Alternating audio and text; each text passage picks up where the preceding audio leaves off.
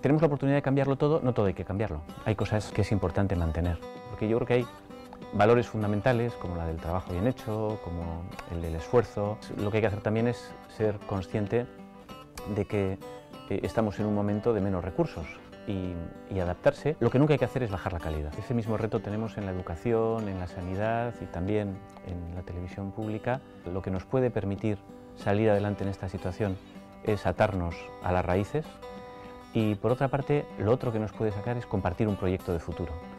Y la televisión pública es el instrumento ideal para ayudar a crear eso.